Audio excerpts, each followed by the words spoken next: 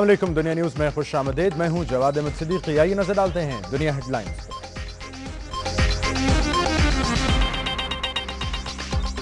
Asia cup का final दिलचस्प मरहले में दाखिल। बांग्लादेश को दो सौ सैंतीस रन के ताकुब में जीत के लिए इकसठ गेंदों पर पचासी रन दरकार।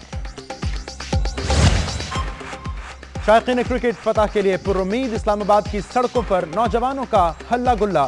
Traffic jam, Bakhtawar, Bhutto, fielding से नाखुश। तहरीक इंसाफ की मकबूलियत में इजाफे के साथ ही इमरान खान की क्रिकेट में दिलचस्पी खत्म। एशिया कप का फाइनल देखा ही नहीं।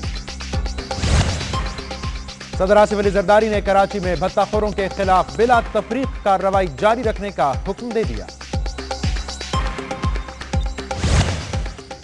लाहौर की सनतों को पाँच रोज गैस देने का ऐलान। जल्द लोडशेडिंग में कमी की जाएगी विफाकी वज़ीर पेट्रोलियम। माहिरीन ने रावलपिंडी इस्लामाबाद के फिल्ट्रेशन प्लांट्स के पानी को मुजर सेहत करार दे दिया। जुड़वा शहरों में गुर्दे के मरीजों की तादाद में इजाफा।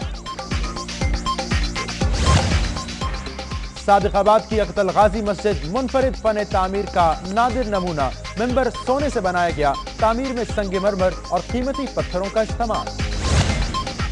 और अफ़गानिस्तान ने नमीबिया को सैंतालीस रन से हराकर टी ट्वेंटी वर्ल्ड कप के लिए क्वालिफाई कर लिया।